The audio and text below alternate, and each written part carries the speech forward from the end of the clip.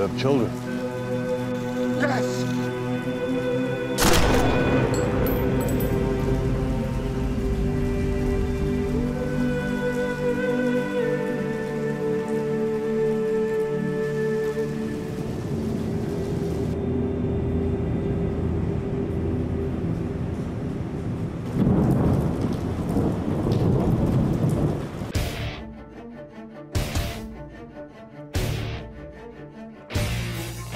It was awesome. I mean, it was just, you know, the, those are the days where you look up and there's the crane and you've got these huge rain machines. You know, the back of your head explodes, the blood sprays at laying down dead, pools of blood, and it's the reason that we uh, that we do the gig.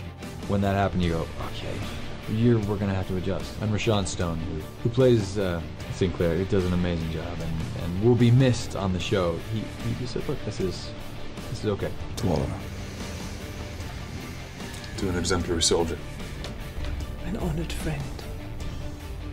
I cried when I when he told me he was going, but obviously I tried to be supportive and not selfish, and so stayed just for me. I'm getting all teary already. It's that thing about the show that no one's safe. No. And that's kind of good. It's great for an audience to, to know that there's kind of a reality in the fact that you know shit goes wrong and people die, and sometimes it's the leads. To Major Sinclair. Major Sinclair. Sinclair.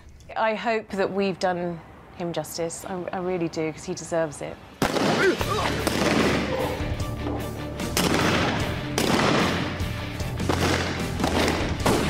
It's been a fantastic gig to do. I've had a really, really good time, and um, and it's time for a new challenge.